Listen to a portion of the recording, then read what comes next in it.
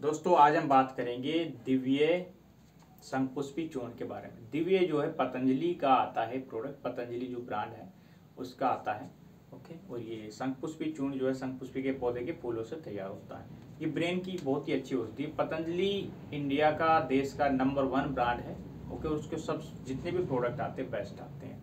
तो इसका जो शंखपुष्पी चूर्ण है बेस्ट है, और ये ब्रेन की समस्या में बहुत अच्छा काम करता है। जैसे देखा जाता है कि ब्रेन की समस्या, जैसे कि चिंता की समस्या, बहुत छोटी छोटी बातों को लेकर चिंतित रह रहे हैं, चिंता में पड़े हैं, ठीक है?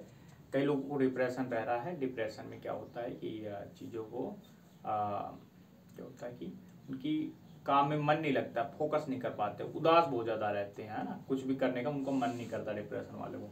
कई लोगों में चिड़चिड़ापन बहुत ज़्यादा रहता है, जिनके चलते उनको गुस्सा बहुत ज़्यादा आएगा, चिड़चिड़ापन बीपी भी बढ़ जाता है धड़कन भी बढ़ जाती है घबराहट बनी रहती है। कई लोगों को नींद नहीं आती, रात भर दिमाग में कुछ ना कुछ चलता रहता है।